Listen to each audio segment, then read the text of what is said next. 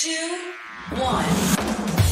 Seven things you probably didn't know you need to know. I'm Jamie East, and this, this is the Smart 7. Good morning, everybody. It's Friday, the 8th of July, and it's National Video Game Day. And a big happy birthday to Jaden Smith, Kevin Bacon, Monty Don, and Isabel Hines Thompson.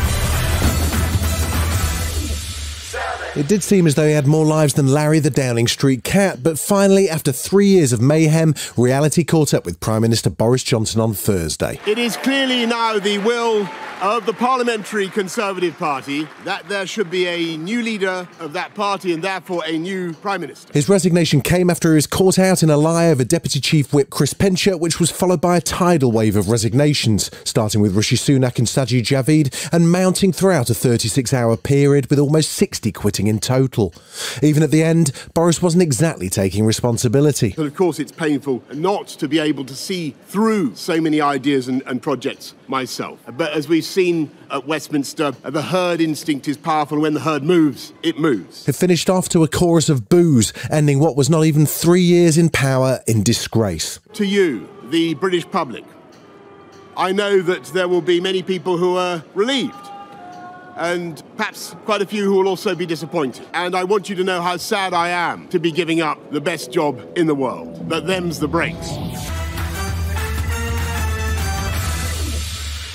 Boris Johnson's fall from grace involved hitting many different branches along the way, including most recently when he battled through a vote of no confidence over Partygate. But Tory MP Robert Halfon says eventually even the Tory faithful had had enough. There's a loss of trust from the public because of everything that's going on one month after another, whether it's the parties or other scandals, and we're not being able to deliver on the things that the public want us to deliver on. A man who's familiar with falls of grace, Matt Lavish Holidays Hancock, says that once a Prime Minister starts to lose his senior ministers, the game is up. Well, with great sadness, it's time for the Prime Minister to resign. Unfortunately, he's lost the confidence of his cabinet. And if Boris is hoping his legacy will polish up, well, his former press secretary Will Walden isn't optimistic about that either. But I think he will also remember somebody that fundamentally didn't listen and that became somewhat presidential.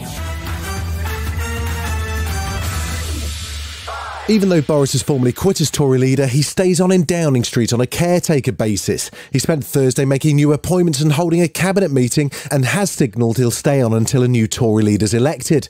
Former Housing Minister Stuart Andrews says that's all perfectly normal. There is nothing abnormal about the Prime Minister who is resigning continuing until the new leader has been elected. Now that the President's dead or at least unwell, the Tory leadership contest has kicked off, with early favourites being Rishi Sunak and Defence Minister Ben Wallace, although neither have formally declared their candidacy. Attorney General Suella Braverman was an early candidate, rushing in on Peston's show on Wednesday night. If there is a leadership contest, I will put my name into the ring. On Thursday night, MP Tom Tugendhat threw his name into the ring to replace Boris, saying it's time for renewal. Liz Truss, Nadhim Zahawi, Jeremy Hunt, and Sajid Javid are all expected to step forward soon, with only Michael Gove and Dominic Raab formally ruling themselves out. Self styled hard man of Brexit, Steve Baker surprised the BBC by popping his hat into the ring live on air. Of course, I'm seriously considering standing because Conservative Home members consistently put me in their top 10.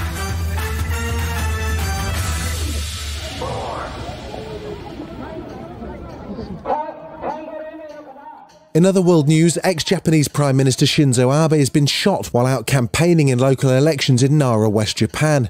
Rushed by helicopter to hospital, reports have emerged that he suffered cardiopulmonary arrest and isn't showing any vital signs. Police arrested a man at the scene. Thursday saw Russia carry out new strikes on the city of Kramatorsk and Slavyansk, killing at least one and injuring many more. This comes as Russian President Putin told Kiev it should quickly accept Moscow's terms for settlement or prepare for the worst.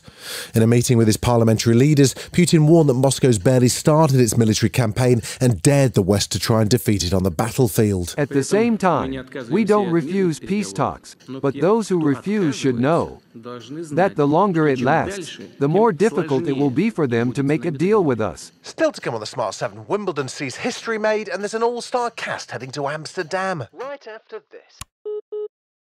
Welcome back.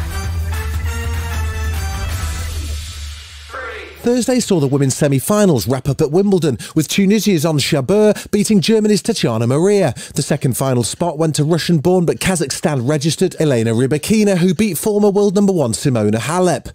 Ons Jabeur, who played as Serena Williams' doubles partner at the Eastbourne tournament, became the first female African player and the first Arab player to reach a Grand Slam final. Thursday evening also saw Rafa Nadal's bid for Wimbledon glory end as he withdrew from his scheduled semi-final match against Nick Kyrgios due to injury.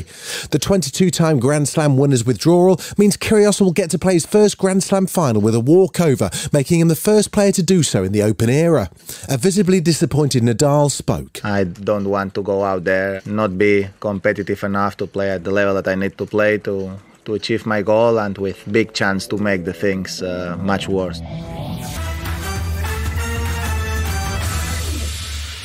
Clear your diary for November. There's a brand new David O. Russell movie on the way. It's a period mystery comedy, not a genre we see too often, but it's got an incredible cast, including oh, Christian Bale, Margot Robbie, Anya Taylor Joy, Chris Rock, Mike Myers, Rami Malek, Robert De Niro, and Taylor Swift, and you know what, many, many more.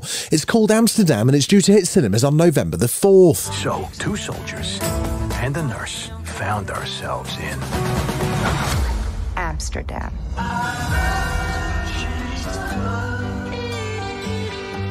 Formed a pact, and we swore to protect each other, no matter what.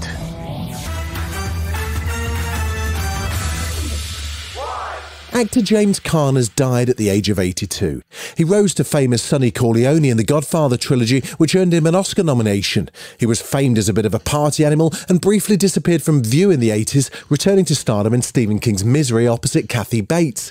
He had continued success with Elf, but will always be best remembered as Sonny Corleone. May his passing be a blessing. They're saps because they risk their lives for strangers. Oh, that's pop talking. You're goddamn right, that's pop talking. They risk, risk their lives for their country. Your country ain't your blood, you remember that. I don't feel that way. I don't feel that way. Well, if you don't feel like that, why don't you just quit college and go to go to join the army? I did. I enlisted in the Marines. This has been The Smart 7. Wherever you're listening, do us a favour and hit the follow button. We'll be back tomorrow at 7am. Have a great day.